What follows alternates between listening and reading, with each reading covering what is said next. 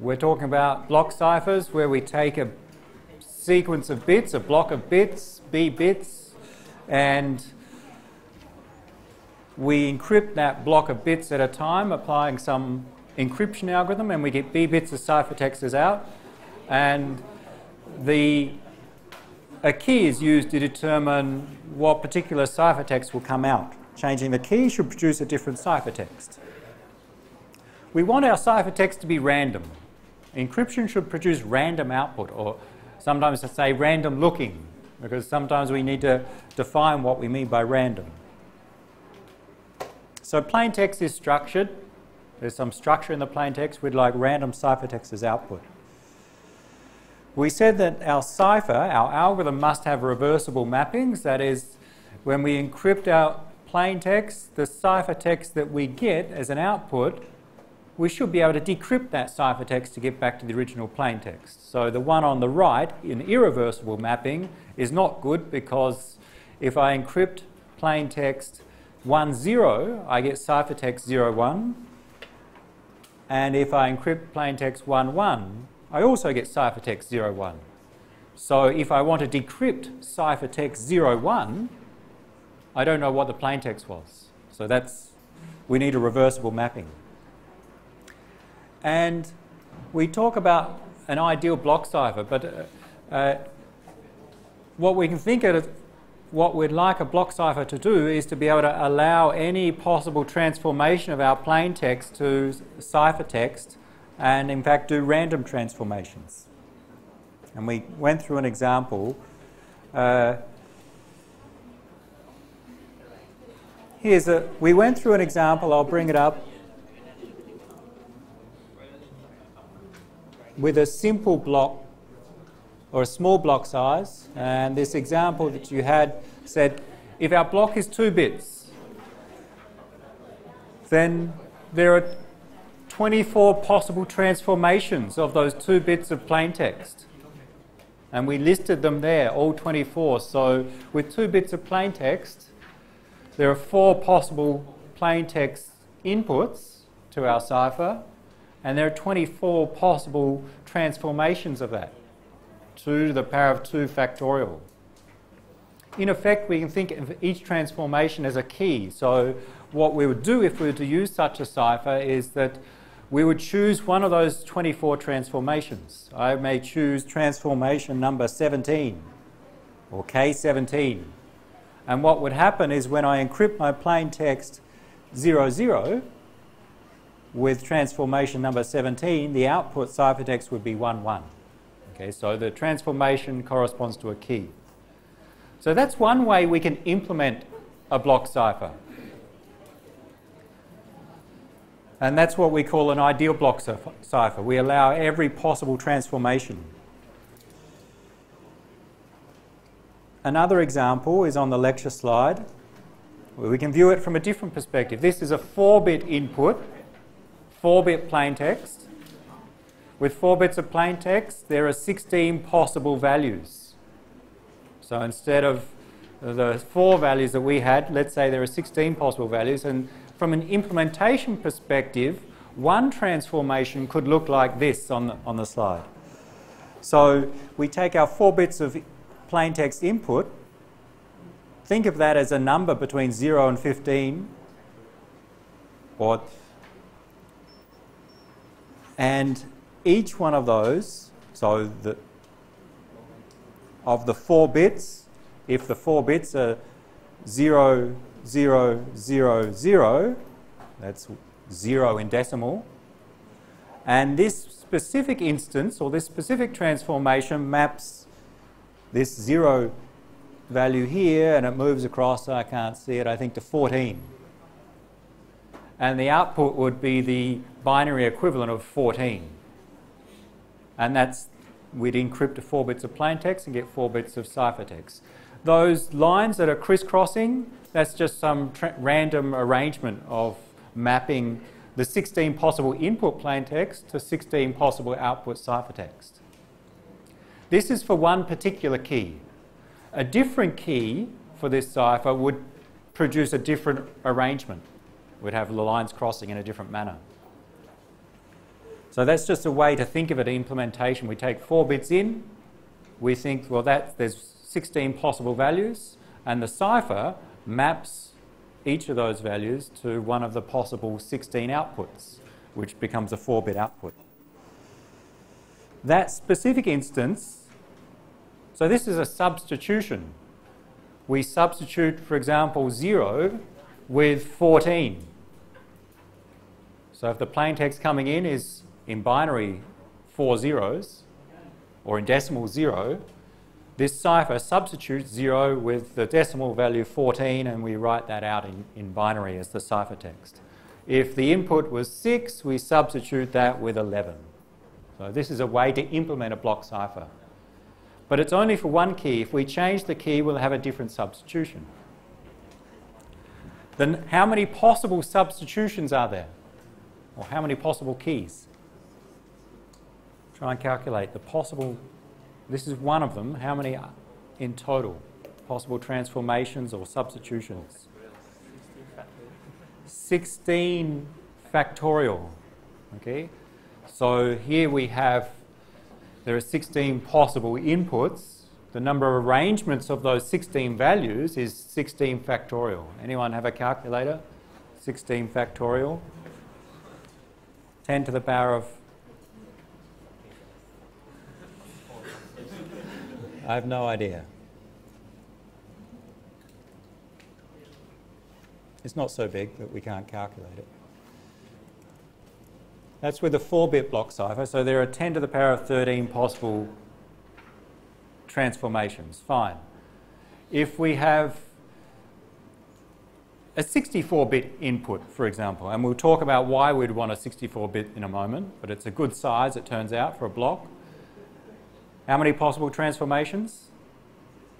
64 factorial. No?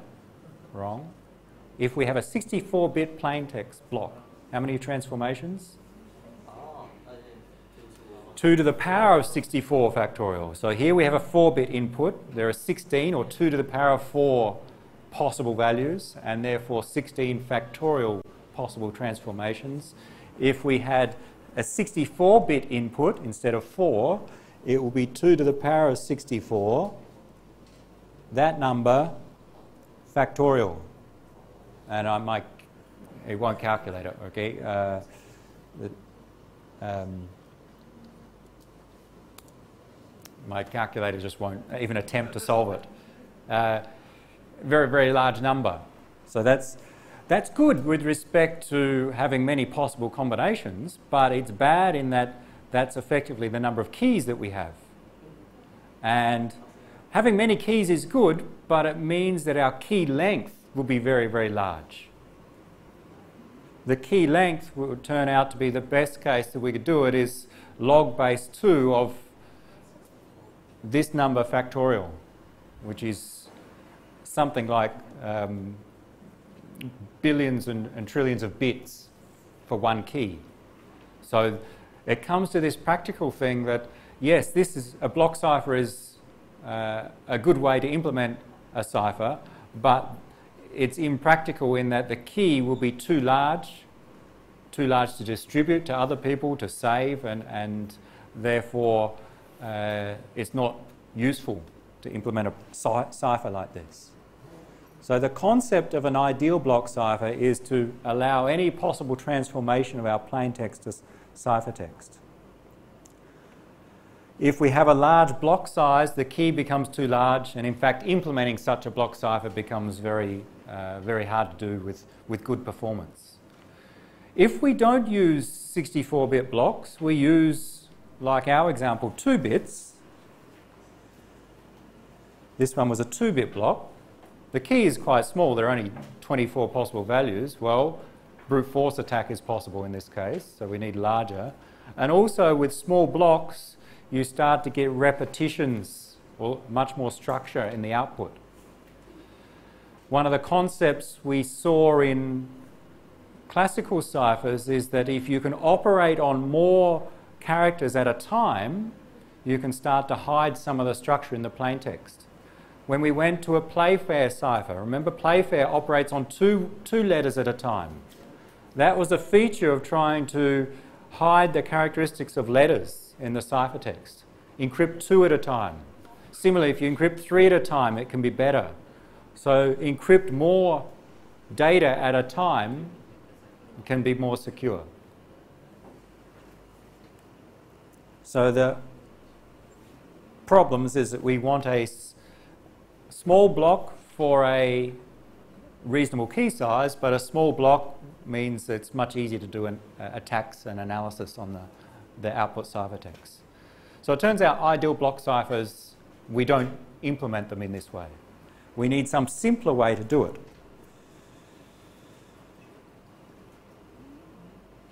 These tables are just a, a implementation of this.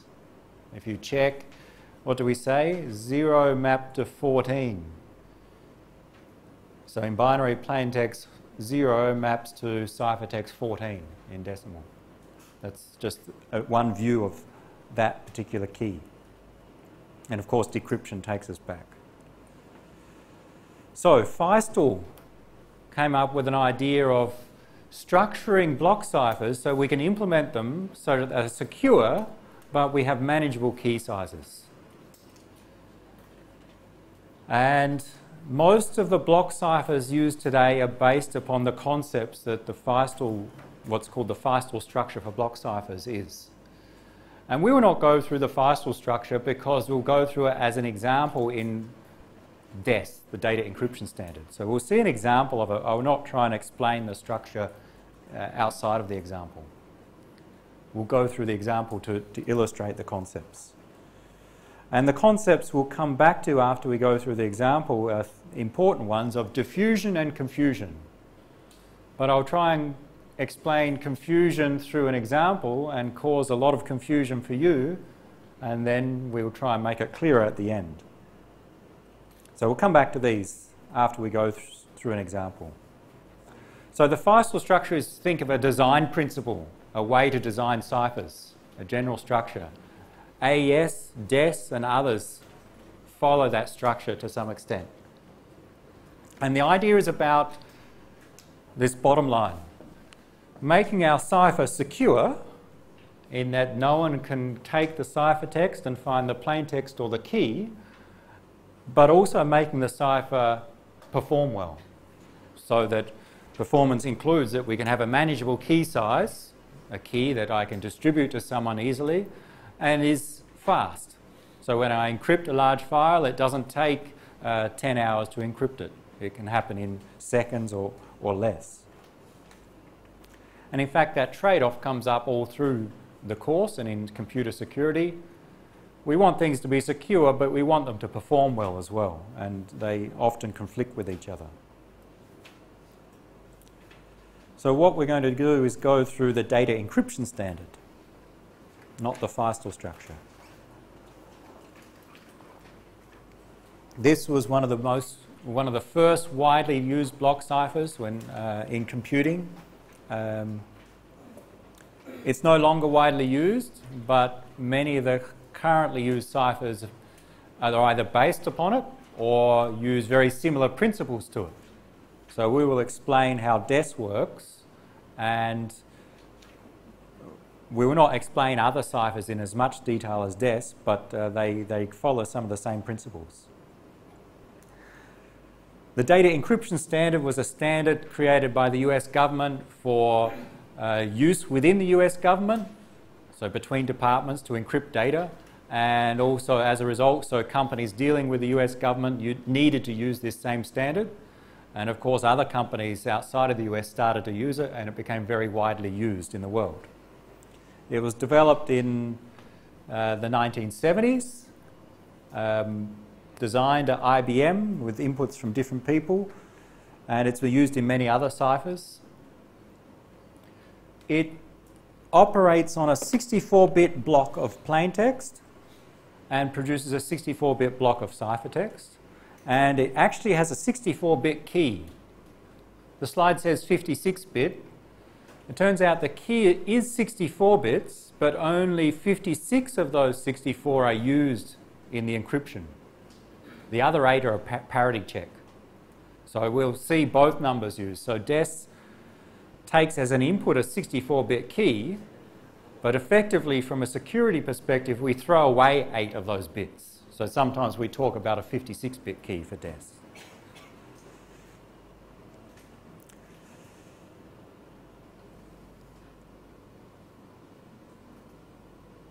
DES, is, DES, as with many block ciphers, is quite complex. And no need for you to look, but uh, I'll jump through to some of the details.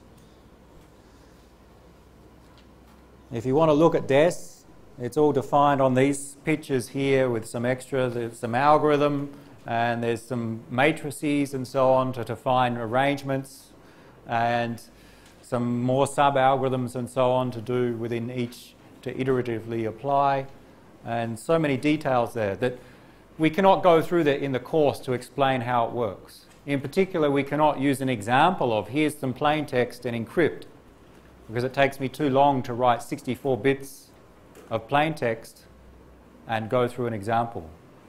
So it turns out people have implemented a cut down version of DES just for education, just for teaching simplified DES. And what I'll do is go through and explain how simplified DES works. And it's, it's, I think it's the small version of DES. You'll see instead of using 64 bits of plain text, it uses 8 bits of plain text. So it's not used in the real world, but it's used just to illustrate how DES works. And we'll use it to go through an example of how to encrypt with simplified DES then we'll return and compare the two, simplified and real DES. So I'll explain simplified DES first. It takes 8 bits of plain text and produces 8 bits of ciphertext. And the reason for this is that we can actually take an example plain text and encrypt it by hand. We'll do that today. And it takes a 10-bit key and we'll see that the Feistel structure, DES, and most block ciphers perform some operations and then repeat them to add more security and repeat and repeat. And those uh, repetitions are referred to as rounds. So we, we do something and then we do another round and then another round and so on. In simplified DES, there's only two rounds. You'll see in real DES, there's 16 rounds. So we repeat something 16 times in real DES. Here we just have two. And the things that we do include operations like permutations. Permutations is rearrange bits. In classical ciphers, we call that what operation? A permutation is the same as a transposition Okay, remember we talk about transposition ciphers, rearrange something, transpose, permutate, rearrange, means the same thing. So it uses some permutations. We operate on bits, on binary, we will see some left shifts. What's a left shift? Just shift all your bits to the left but wrap around. So the leftmost bit becomes the rightmost bit. We'll see an example of that. Uh, and we'll see in the details that it also includes some substitutions. So we'll go through the details. Let's go and explain the overall algorithm and then go through an example. There's actually, well, three parts. There's encryption, decryption, but also there's a key generation algorithm. And the key generation actually takes our original key and splits it or creates two part or two sub keys which are generated uh, upon our original key. So on this picture, the blocks on the left here are the encryption steps. IP will explain what it means. It's a permutation. P generally refers to a permutation some function, which we'll look at in detail, some swap or switch, and another function, and then an initial permutation inverse, so we'll see them. On the right are the blocks for decryption. Note the arrows are going up. And in the middle is how to generate the two, what we have, sub keys, or sometimes called round keys. We start with one key, we're going to apply some operations and create subkey K1 and subkey K2 and use them separately in the encryption and decryption. Look at encryption and decryption blocks. What do you notice about them? The algorithm for encryption and decryption. They're the same. Okay? In, without even understanding what they do, we see this is IP, some function using K as an input, some this is a swap or switch the halves, and the same function again, then some inverse operation. That's encryption. Take plain text, it will produce 8 bits of ciphertext. Decryption is identical to that. So with the same steps are applied, it just turns out that we use the subkeys in a different order. With encryption, we'll generate subkey K1, use that in the first function, and subkey K2 in the second function. With when we decrypt, in the first function we'll use K2, going up, and the second time K1. Maybe the important point there is that encryption and decryption can be implemented the same. If we implement in hardware or software, we just need one implementation. So that we don't need a, piece of, a different piece of software to encrypt and, and decrypt. And that's a nice feature.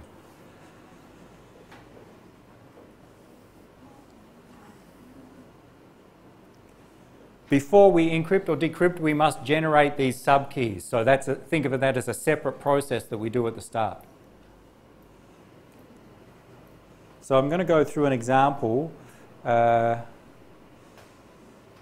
I think you have the example printed out. Can I just check through, just scroll through, and I think there should be a simplified DES example in your handouts. Yes? Simplified DES. Yes. There's one titled Block Ciphers and DES, simplified DES example. I'm going to go through that exact one so you can follow it there. Uh, and also I'll flick between the slides to, to illustrate, just to be clear which, where was it?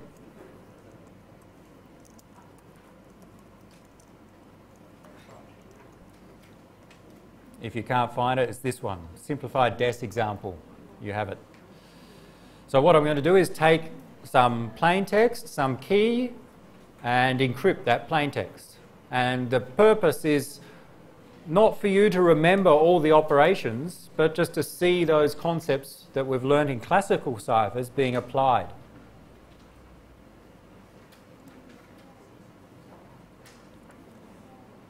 Takes a bit of time, so let's get started. Uh,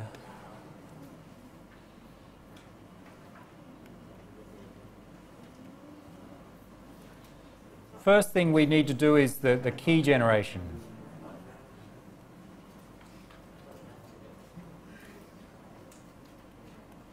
The middle blocks in, in the picture. So we start with two inputs, the plain text and the key.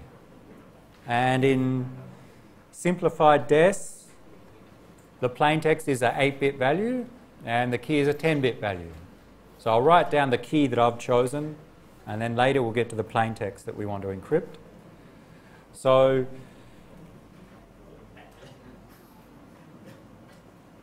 the key in this, this case K, I've just chosen a, a random 10-bit value.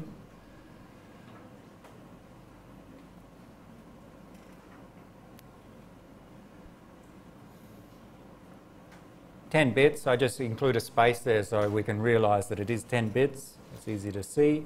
What we need to do is take those 10 bits and generate two subkeys, or called round keys, because we use them in different rounds of our encryption and decryption.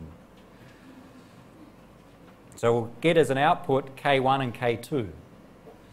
And the algorithm for doing that is illustrated from these five blocks. What we do is we take 10-bit key and apply a permutation. So in these pictures, P refers to a permutation.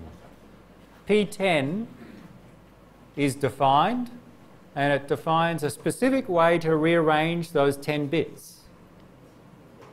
So we just take the 10 bits and, and change the ordering of them. Then we'll do a left shift. This shift operation is a left shift on those bits. So we'll shift them to the left. And then P8 is a permutation that takes 10 bits in and produces a rearrangement of those 10 bits, omitting two of them. So we get 8 bits out. So you can see the shape, you can see 10 bits will come in, 8 bits will come out. We'll throw away two of them. That will produce the round key K1 or the subkey K1. To get K2, we will take the output of the previous shift, do another left shift, and, uh, and apply the same permutation and get K2. So let's do that. To do it, we need to know what is P10, and it's defined here.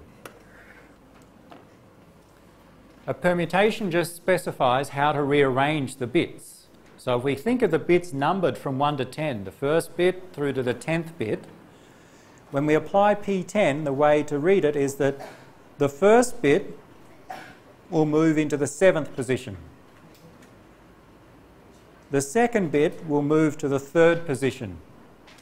The third bit on input will move to the first position on output. It's just a rearrangement of those 10 bits. And it's fixed. So for this simplified DES, it's always this. It's known, the attacker knows this, everyone knows this. We assume the attacker knows the algorithm. And in fact, in real DES, we'll see there's a permutation that's equivalent to this. And again, it's fixed and known, so it's a constant arrangement. It's just longer. Instead of 10 bits, it operates on 64 or 56 bits. Similar, P8, we'll use it in a moment, is a rearrangement of 10 bits, but we throw away two of the bits, the first two, I think. So bit 1 and 2 will be discarded when we apply P8, and we'll get bits 3 through to 10 arranged in that the sixth bit becomes the first bit, and the third bit on the input becomes the second bit on output. So again, this is a fixed rearrangement of the bits. Later in the encryption, encryption, we'll see there's also a P4, just another arrangement. So let's try it.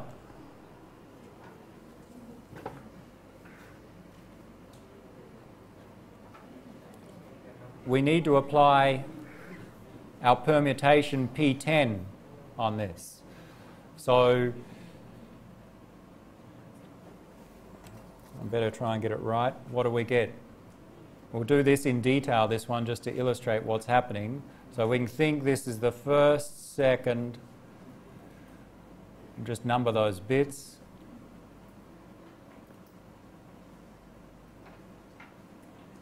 They are our 10 bits in, and we apply P10, the operation, which really rearranges those 10 bits and we look on the, uh, the picture and the third bit, sorry, the picture, the, the definition of P10, the third bit of input becomes the first bit.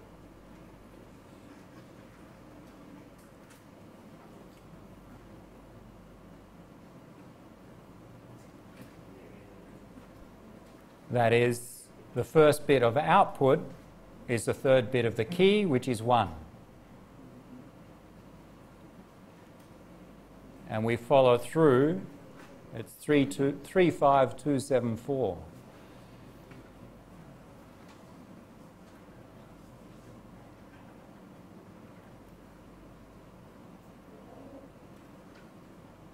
It'll get confusing if we do it all the way, but I think it makes sense. The second bit is the fifth bit of the input, which was a zero. The second bit of input becomes the third bit, also a zero. The seventh bit of input becomes a fourth bit, which was a zero.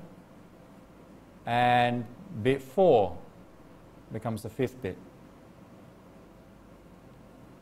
And we keep going. We see the next 10, 1, 9, 8, 6.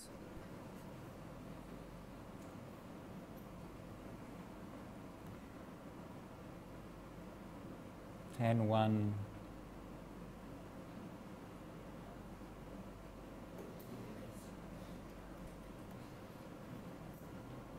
The 10th bit, the first bit, the ninth bit, the eighth, and the sixth. That's our output of applying P10.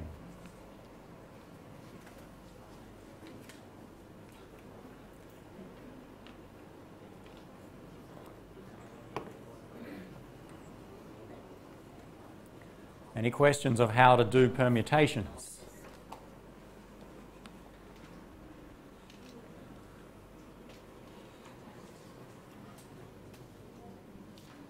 It's not the intent for you to have to remember how simplified DES or even real DES works in detail, but just to illustrate some of the operations that they use. Here is a simple rearrangement of bits.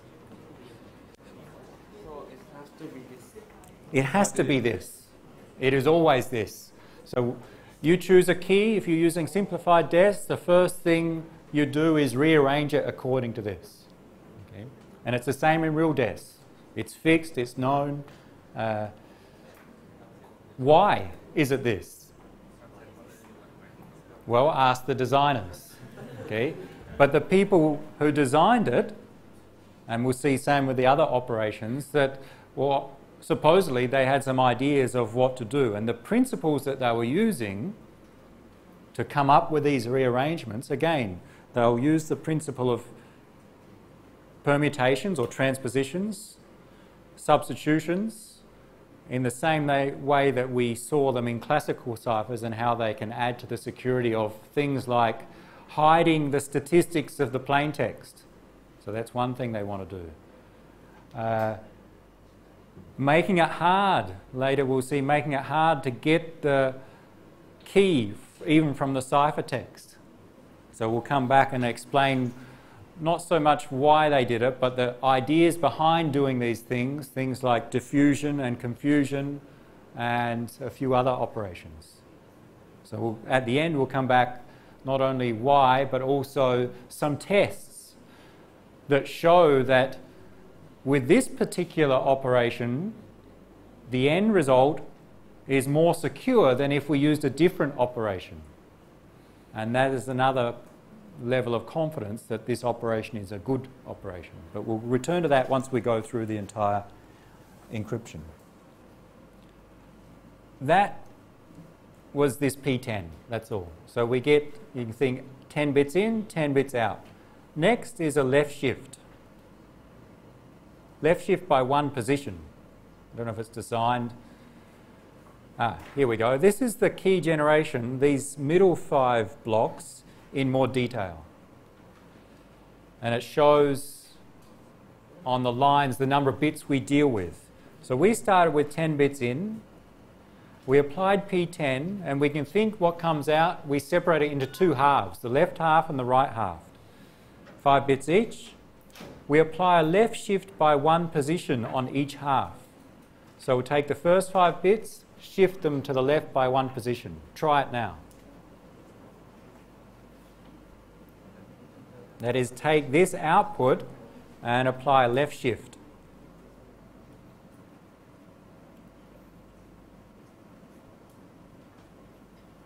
So think of it now as two different sets of five bits. and we apply a left shift on them. Left shift is just another permutation. It's a permutation where bit 2 becomes 1, bit 3 becomes 2, 4 becomes 3, 5 becomes 4, and bit 1 becomes 5. That's all a left shift is. The left bit wraps around to the end. And similar on these five bits. Note that we do the left shift separately on the two halves. So we'll shift bit 2 to first position, bit 3, bit 4, bit 5, and the first bit becomes the last bit there. So in fact, a left shift is also a permutation.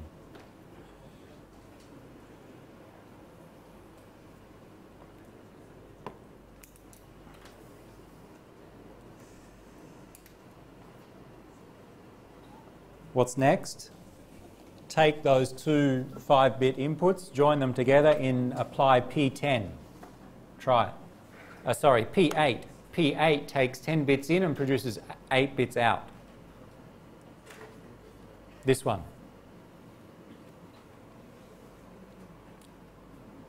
So again, we treat those two sets of 5 bits as a 10-bit value, and we get 8 bits out.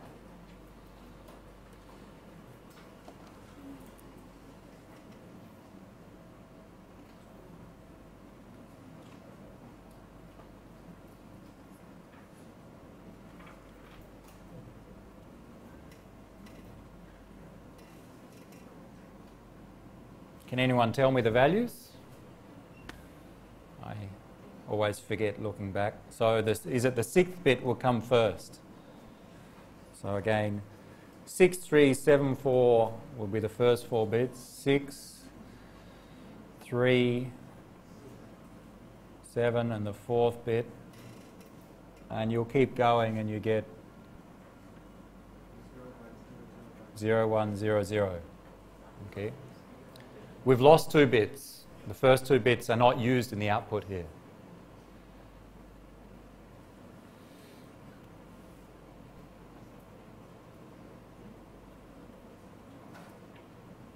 This is key 1, K1 in our algorithm. The first subkey or the first round key. We'll use it in the encryption and the decryption.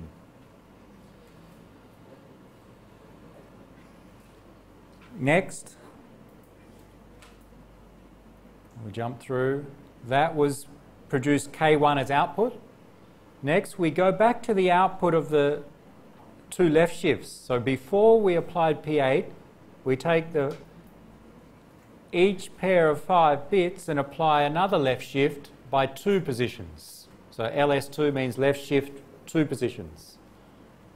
And then we'll take those 10 bits as output and apply the same P8 again to get K2.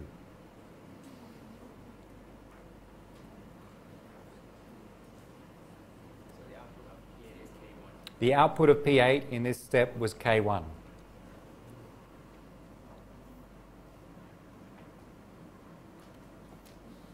We do a left shift 2 and just to be clear, we take these two values as the input. We don't take P8, the output of P8, we take the previous step's values and a left shift of 2. The 1 here of those 5 bits is going to move from the fifth position to the third position. And a left shift of 2, these two ones are going to end up the end.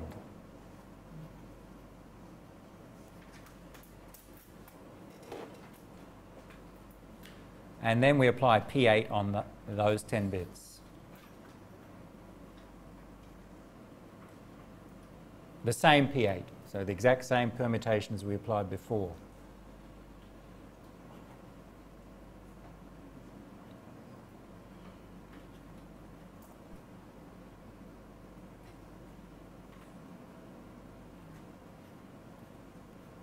And that is K2.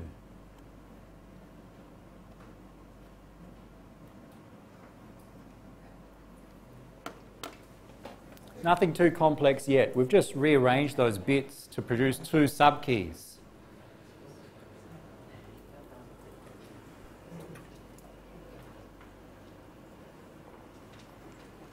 If, if you knew the two subkeys, you can easily find the original key. There's no complex operations that make it hard to go backwards in this case. Okay? The inverse is, is quite simple.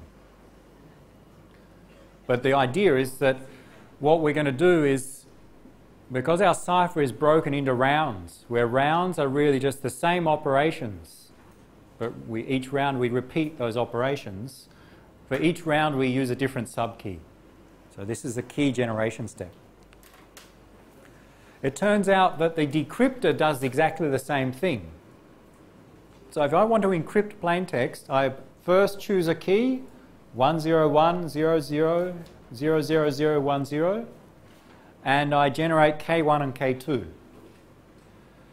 I will then use them to encrypt my plaintext. I'll send you the ciphertext.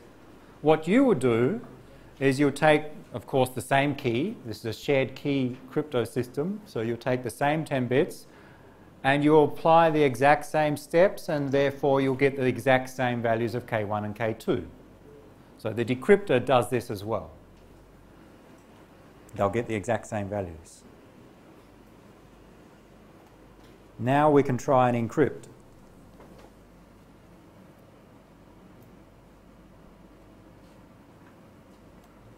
So to encrypt, we need some plain text.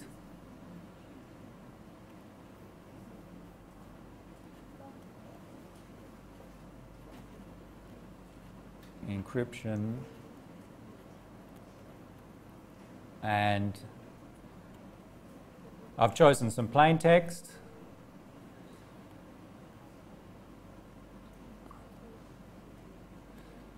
What have I chosen? Let's use the same one. 0, 1, 1. This is my block that I want to encrypt. It's 8 bits, just a random 8 bits. It has no meaning in this example, but uh, suppose it has some meaning. We want to encrypt that and get some ciphertext. So that's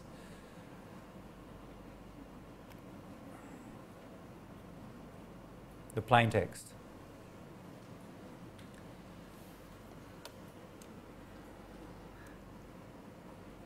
and go back to the encryption. And it's defined in detail here, but in the overview, it's the left side here. What we do is we take 8 bits in, apply a permutation. It's called an initial permutation because we do it at the start.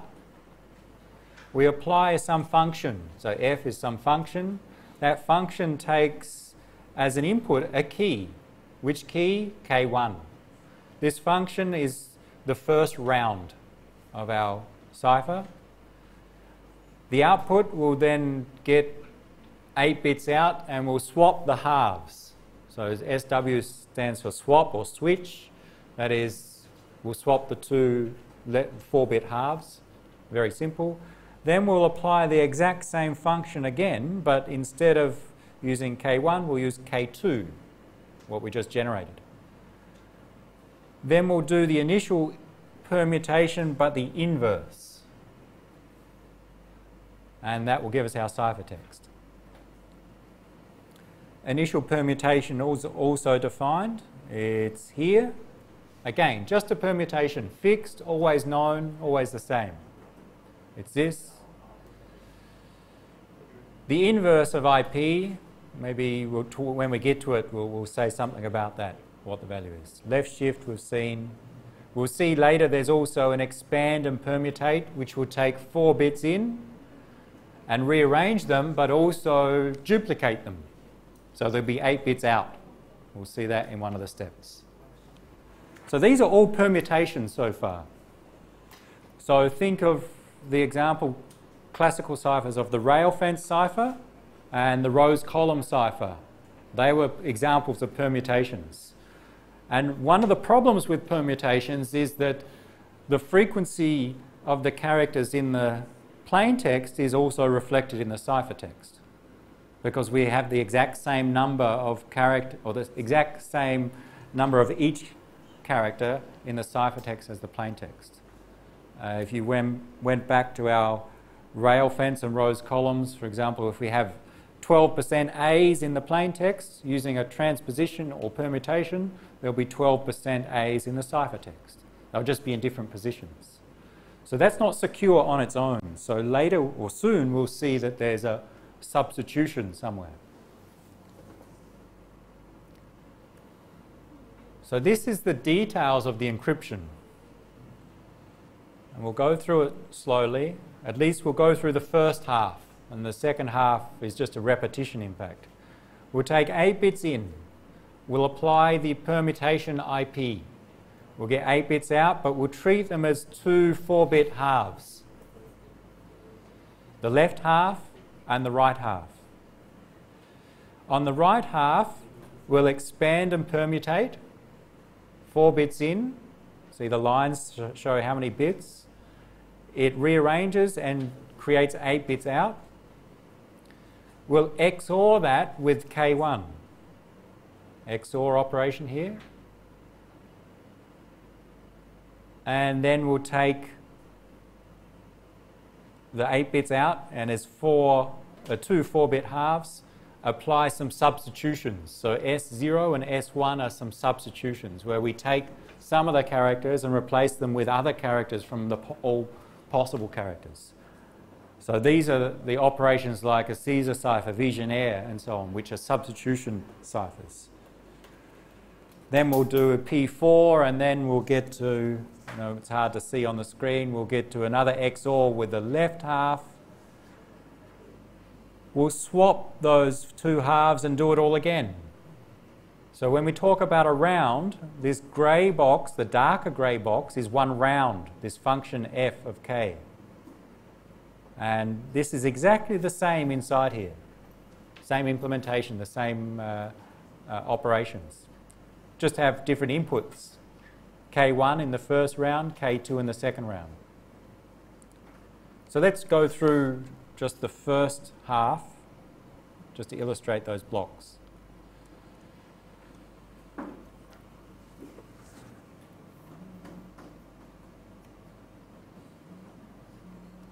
This is maybe the only cipher in this course that will go through in depth, in this, this amount of depth. And in fact, it's only a simplified version of a real cipher. Uh, we will not do this for others because in practice, the computer does it all for us, but we need to understand some of the operations. So the first thing we do is we apply IP. And I'm not going to write it here. It's a permutation. We'll take those 8 bits in, and we'll arrange them such that the second bit becomes the first bit, the sixth bit the second bit, and so on. Wrong way. Can someone tell me what we get out? I have it somewhere.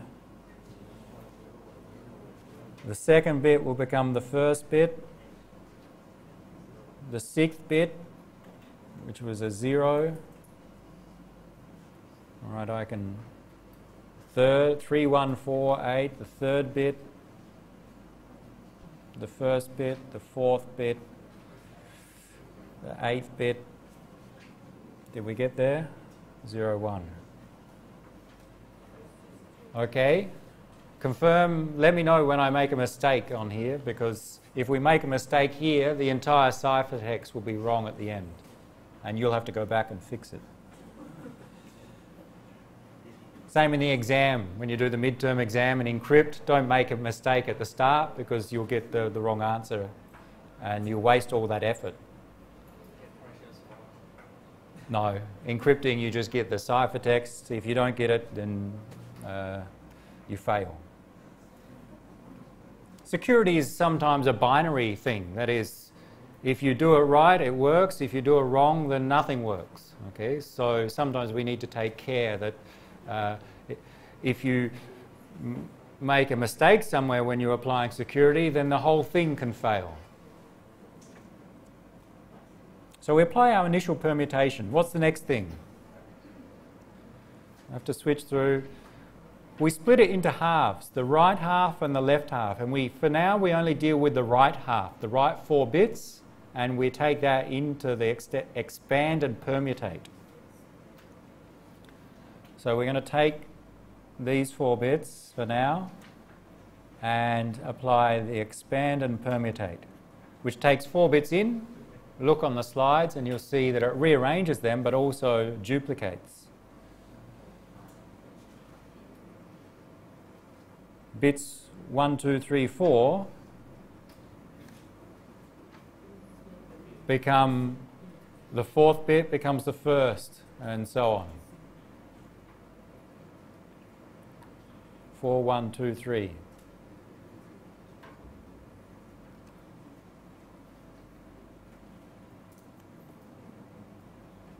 So the fourth bit was a 1, the first bit, the second and the third bit of the input, 4, 1, 2, 3, and then the next 2, 3, 4, 1. The second bit, so the second bit, we're only dealing with these four. The third, 1, 1. What's next? XOR with the key. So we take that, K, K1, this value from before.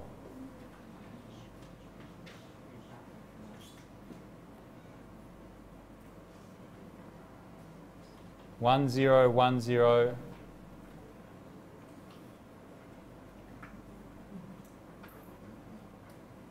zero one oh oh. This is K1. And the operation we do is an XOR, exclusive OR.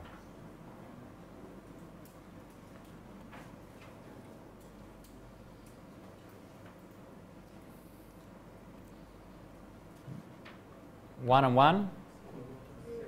All right, you know, easy. When they're the same, we get zero. When they're different, we get one.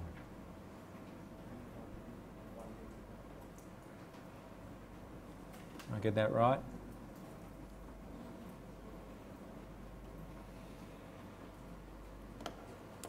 XOR operation on the key and the output of the expand and permutate. Just going back. We're here now. We've just done the XOR. We're now going to split it into two halves again, four bits at a time.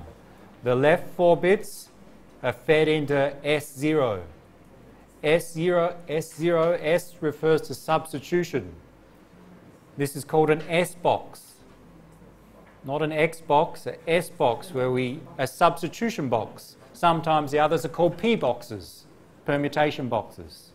We take it, some input and we'll do a substitution producing some output. And remember, a substitution is that uh, we replace one of our characters with another character from the entire set of characters. When we did it on letters, it was easy to understand. Say we replaced the letter A with one of the other, one of the 26 characters. It doesn't have to be one of the characters in the input that we replace it with. So we take the left half and lead it, use it in S box S0. So we'll have to explain how that S box works.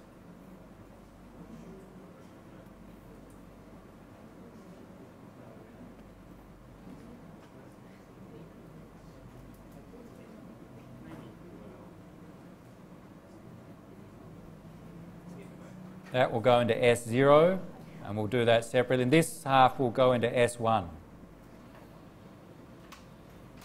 Now let's look at those S boxes. And these are important parts.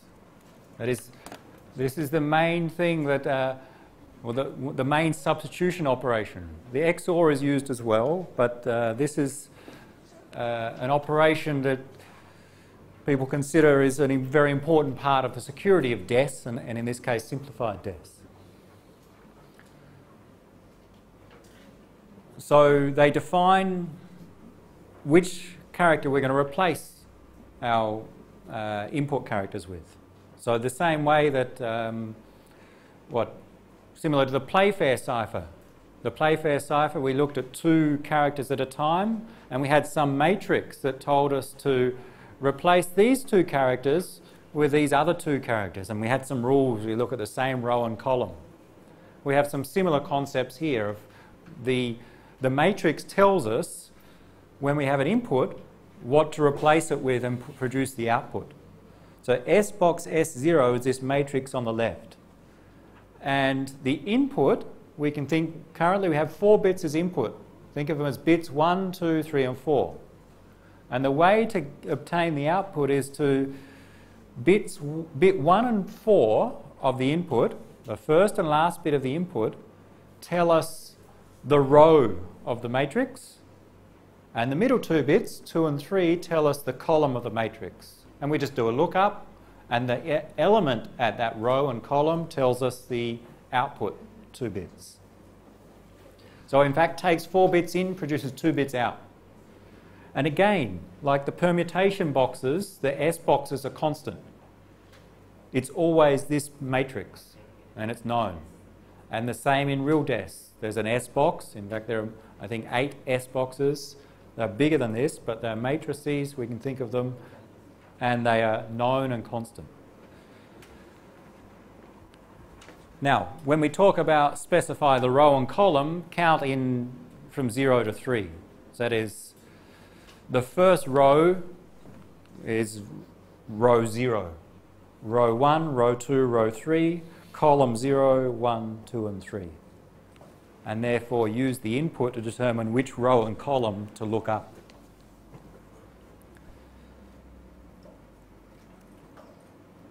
Our input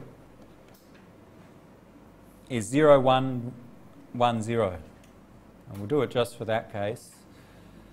We've got 0, 1, 1, 0. That's the left half here. So bit 1, 2, 3 and 4. And the rule, the rule is that the row is taken from bits 1 and 4. That is in binary 0, 0, or in decimal row 0. And the column is from bits 2 and 3, in our case 1, 1, column 3, which is in fact the last column. The first row in our matrix and the last column in the matrix. Look it up and you'll get the output.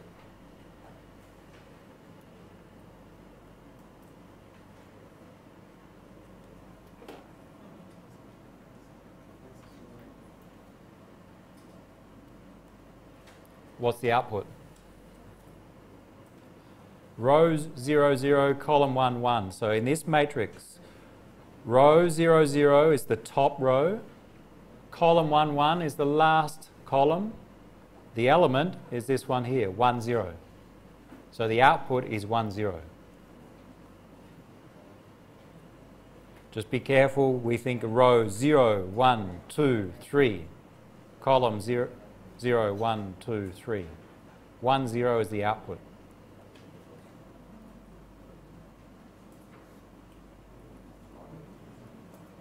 And I'll just note here that the output here will be 1, 0 of the first S box. Try it for S box S1. Same rules, but a different matrix. Just check that you, you follow that. This is just a way to implement a substitution. Replace some of the some input characters with others. What's the answer for S1?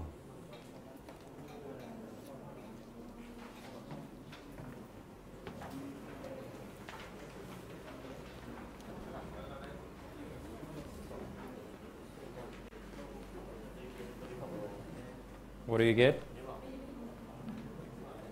S1 produces something as output, four bits in, two bits out. Which row? The second row, or row one, row number one. Which column? The last column, the fourth, row, uh, column three.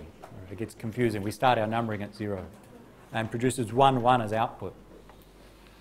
Because bit 1 and bit 4, 0, 1, the, actually the second row. 1, 1 is the last column. We looked that up in our matrix. Second row, last column, 1, 1 is the element that comes out here.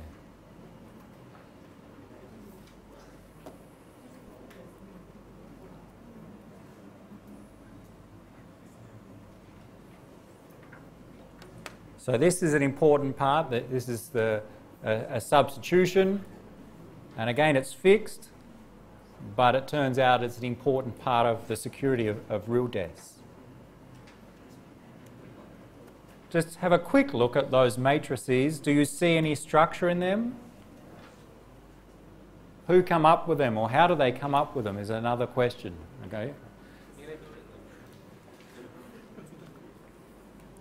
Well, we cannot think, we do not really know what the designers did a long time ago, but it turns out with real DES it's similar. There's a, a defined matrix.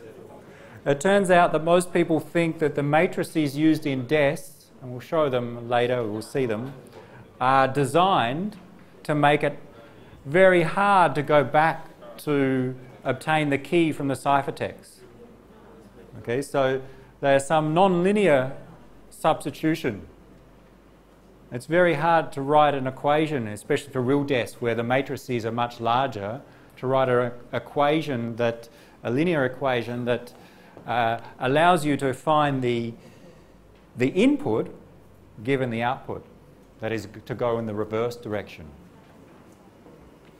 And in real DES, it turned out people have done analysis that says that if you modify the S boxes just a little bit, maybe you have a slightly different one. Instead of 1, 1, 1, 0, you swap them. People have done analysis of real DES such that when they make small changes, it makes the cipher much less sec secure, much worse, which suggests that it was designed to make it more secure, that it is a good design.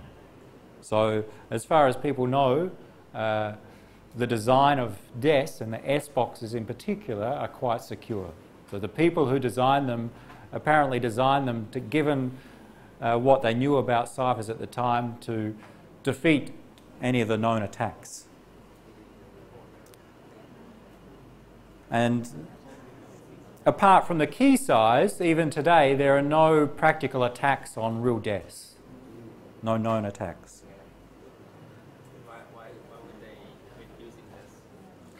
Because the key is so small in DES. So the cipher, the algorithm is strong, but because in real DES it uses a say 64-bit key, you can just try all possible keys. And I'll show you an example that uh, it may cost a few thousand dollars today to, to break real DES. Brute force. Correct.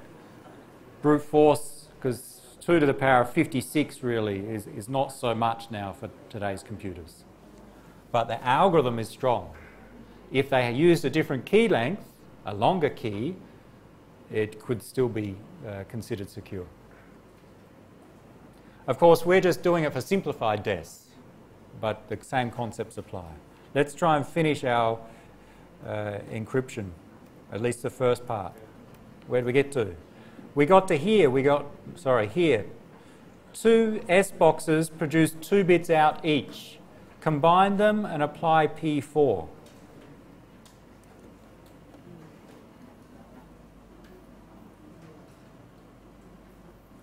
Take those four bits, apply P4. I'll let you look it up. It's defined on one of the slides, the permutation, and you get 0111. It's just a rearrangement of those four bits. XOR those four bits with the original left half that came out of the initial permutation. So coming back to the start, we had four bits on the left and on the right. Take the four bits on the left and XOR them with the four that we just got. That's somewhere up here. I don't know if I can draw it. These four bits. We haven't used them yet. Okay, so we use them now. It comes down here and we XOR.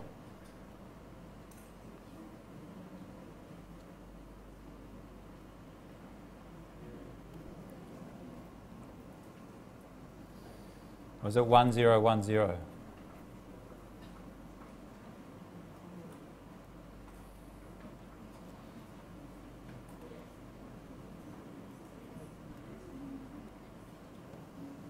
We get 1101. Almost there.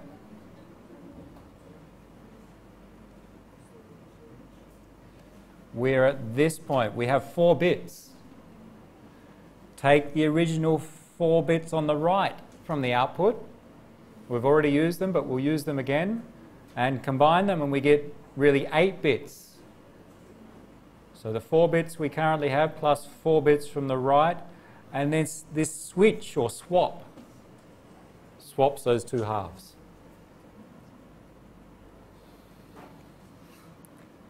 So what we do is we take the right half of IP, this half, and it comes down and we use that. What was it? 1001. So we have eight bits. In fact, this is the end of the, the round.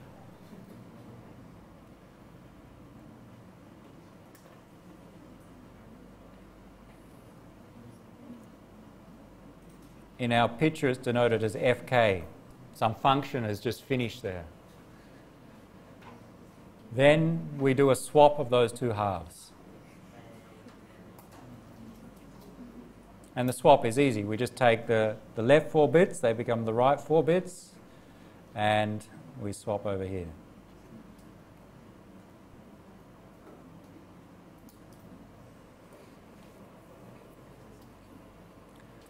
Then what do we do? We apply fk again. Where did fk start? I should have drawn, drawn that on here. If I can fit it in. Our function fk started here. If we just look back at our picture, this outer grey box, fk, takes the input 8 bits from the initial permutation and the output is 8 bits we feed that into the swap. Those 8 bits are then applied into the exact same function, except we'll use K2 as an input. Everything in here is identical. And we'll get 8 bits out. That's your homework to do that. FK started here and finished here, the first iteration. In fact, we may denote that with K1, key 1, and key 2, sorry, K1 finished here, and then we started again. Fk, same function but use K2. This is the end. And you'll go through that same operations, permutations, substitutions, XOR, use K2 as an input. Remember, we've got K2 from the key generation up here, these 8 bits.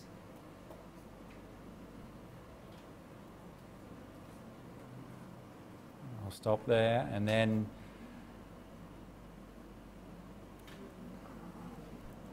FK2 will end and at the end the 8 bits out I'll tell you because I've done it before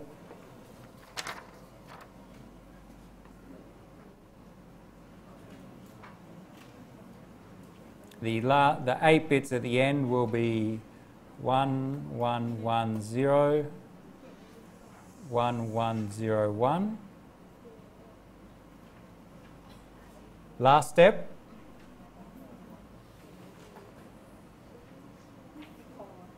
So you can check those intermediate steps here, okay, if you want to. Last thing we do is the inverse initial permutation. We re rearrange those 8 bits and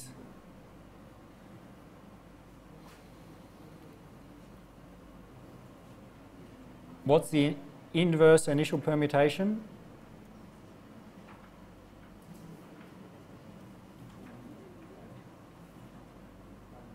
You'll find that and I'll give you the answer.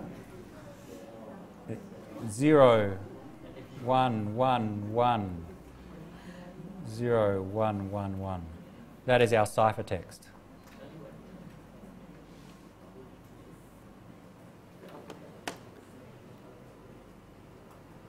That's what you should end up with.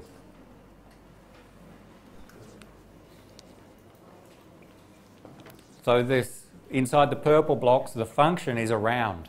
It's in fact the same as in each round we do the same code, but we'll just have different inputs. In between the rounds, we swap the halves. And at the start of the encryption, we apply an initial permutation, and at the end, we apply the inverse of that. Your challenge is If you want to check, if you don't understand, I suggest you do this. But if you understand, that's okay. Then try and find what is the inverse initial permutation. You get ciphertext and when, then we're done.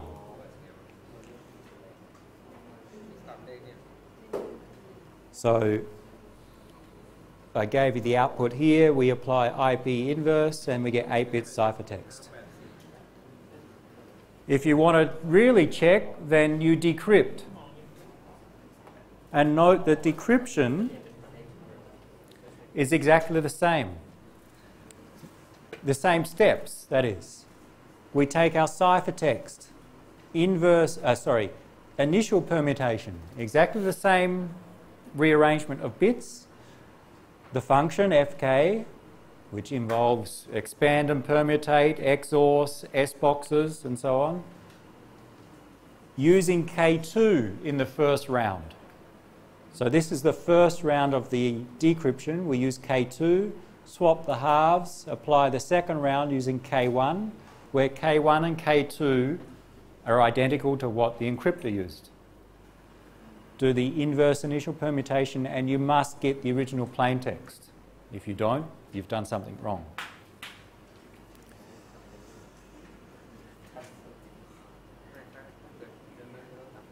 We'll stop there. What we'll do in the next lecture is now then we'll return to real DES and just compare simplified versus real DES and really, really just see that real DES we just scale up. Things are bigger but the same concepts are applied. And then we'll talk about the security of real DES and, and some of the known attacks uh, uh, and some of the design issues with real DES. Try and find in, inverse initial permutation. Try and understand what the inverse means in that case.